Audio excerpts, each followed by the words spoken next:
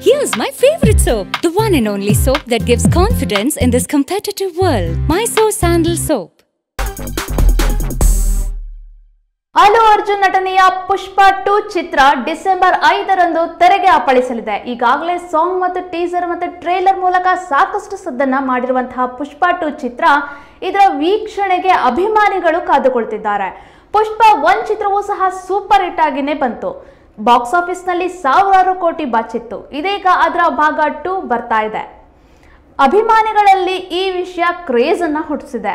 ಅಲ್ಲು ಅರ್ಜುನ್ ಮತ್ತು ರಶ್ಮಿಕಾ ಮಂದಣ್ಣ ಮತ್ತು ಚಿತ್ರತಂಡದವರು ಪ್ರಮೋಷನ್ ಕಾರ್ಯದಲ್ಲಿ ಫುಲ್ ಆಗಿದ್ದಾರೆ ಆದರೆ ನೆಗೆಟಿವ್ ರೋಲ್ನಲ್ಲಿ ಕಾಣಿಸಿಕೊಂಡಿರುವಂತಹ ಫಾಹದ್ ಫಾಸಿಲ್ ಮಾತ್ರ ಇದುವರೆಗೂ ಪ್ರಮೋಷನ್ ಕಾರ್ಯದಲ್ಲಿ ಕಾಣಿಸ್ಕೊಳ್ಳದಲ್ಲೇ ಇರೋದು ಚರ್ಚೆಗೆ ಗ್ರಾಸವಾಗುವಂತೆ ಮಾಡಿದೆ.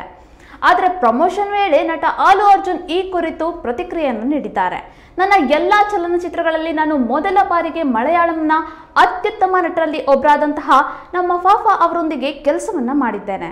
ನಾನು ಇಂದು ಅವರನ್ನ ನೋಡುವುದನ್ನ ಕಳೆದುಕೊಳ್ತಾ ಇದ್ದೇನೆ.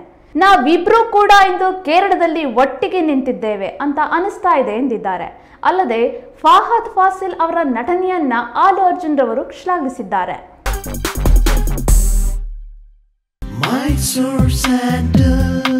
Here's my favorite soap, the one and only soap that gives confidence in this competitive world. Mysore Sandal Soap.